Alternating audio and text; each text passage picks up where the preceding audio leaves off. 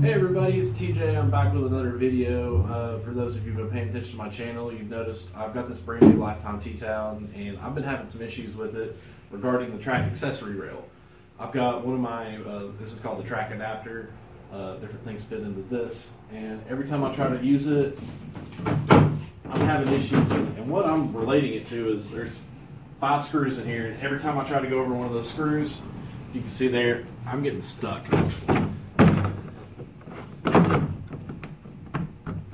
it takes a pretty good amount of effort to get this thing out.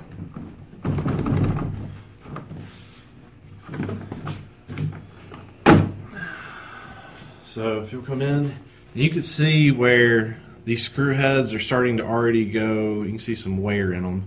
There you go from that angle. And you can kind of look at all of these are wearing. Come over here. Kind of zoom in all the way.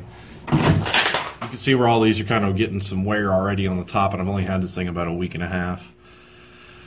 Uh, so I'm tired of fooling around with it, and so what I'm going to do is I'm going to take these uh, these round-headed uh, screws out, and I'm going to replace them with some flathead or flush mount screws. And I'm a little bit OCD about making sure everything is nice and sealed. So I'm going to go a step above, and instead of just replacing the screws, I'm actually going to go ahead and I've got some indoor-outdoor uh, sil uh, silicone sealant, and I'm going to put this on the screw threads and make sure that it stays nice and sealed below deck, that there's no water getting in below this. So I'm going to get to work, and let's see how this goes.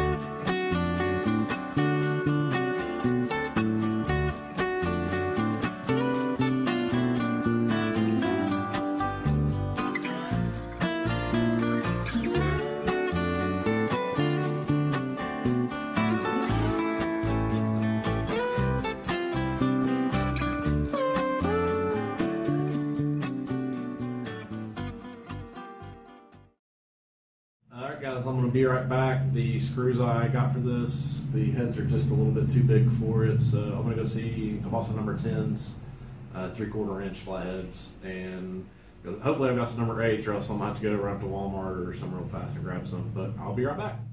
So made it back from the store. I've got some number 8 by 3 quarter inch uh, flathead screws, So already tested them out. They're going to fit really nice in the pre-cut hole, and I've already tested them out in the track. They're going to fit really nice. So I'll have Casey come in. So basically, all I'm going to do is I've got a little bit of all-purpose silicone right here.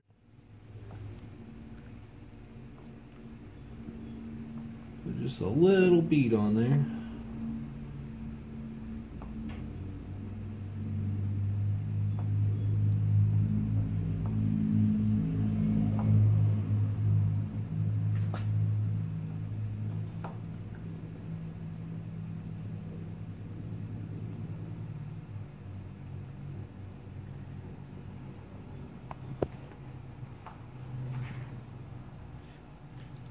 And like I said, this is something you probably don't have to do. I just want to be extra careful, and make sure that this doesn't become a point for water to being able to get in.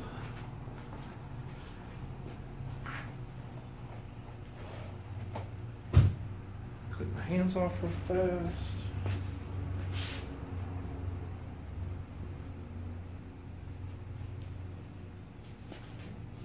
All right.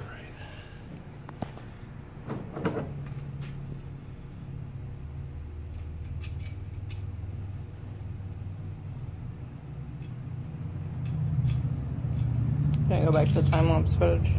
No.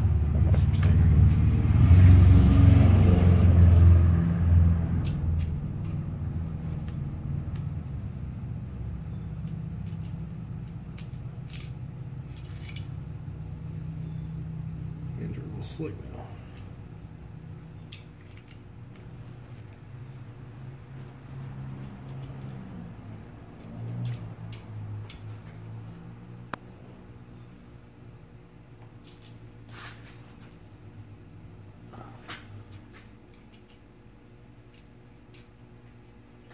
All right.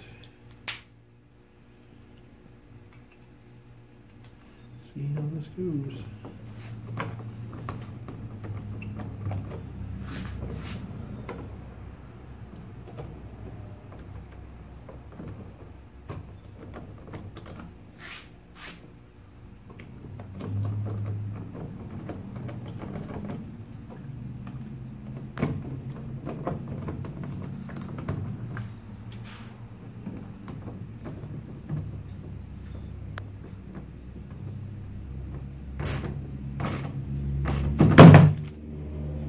Like my hand's slick.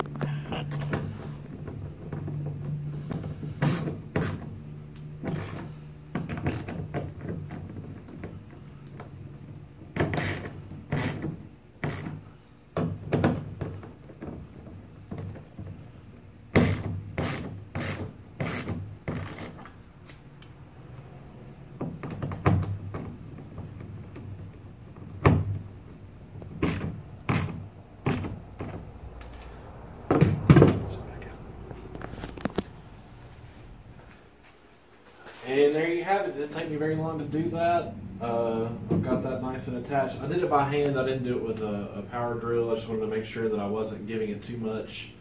I'm not really sure. I don't do too much screwing stuff into plastic, so I wanted to make sure that I wasn't going to go through and strip out those holes to the point where these screws weren't going to work anymore. But I've got them nice and tight. They ain't going to go anywhere. Uh, um, before I take it out, I'm going to give the silicone a chance to dry for 24 hours, but I feel pretty confident enough to go ahead and test it out with this. And as you can see, smooth as butter now.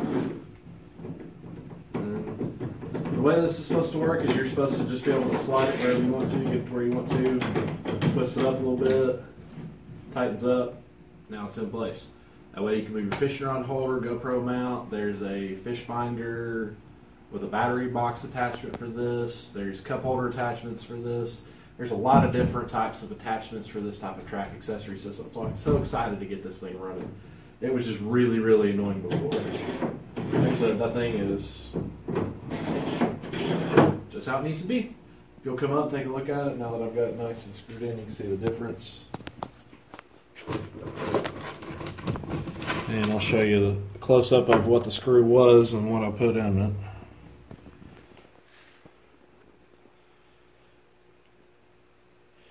You can kind of see how that head makes a little bit of a difference.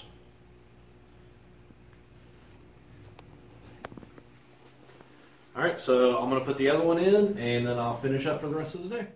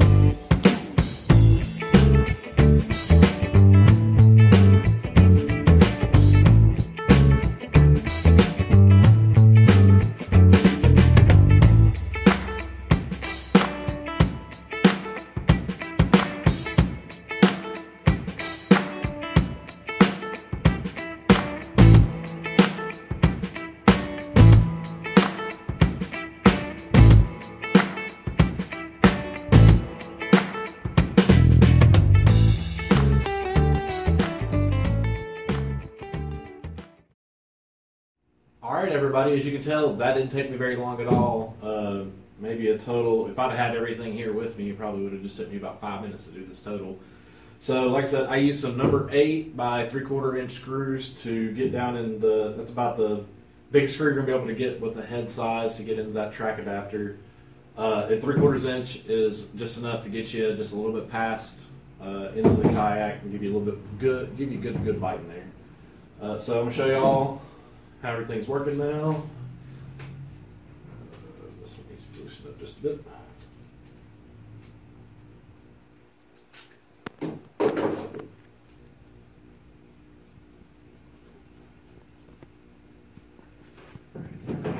So then as you can see, track adapter goes in,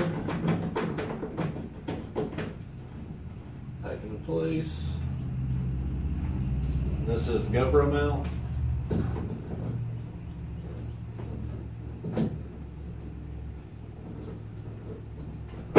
Here we go.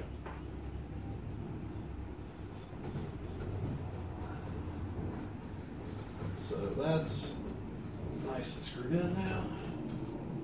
That won't go anywhere. Then here's my rod holder. Same thing. To the track. Nice and easy now. And like I said, just tighten it in place. Not gonna go anywhere. Then make your adjustments as needed.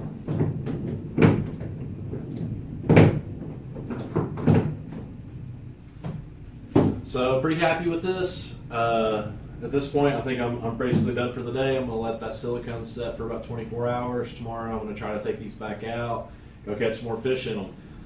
Appreciate everybody joining me, and if you like what I'm doing, give me a like on my videos, subscribe to my channel. It helps me know what type of content you guys want me to be out here doing. And until next time, tight lines.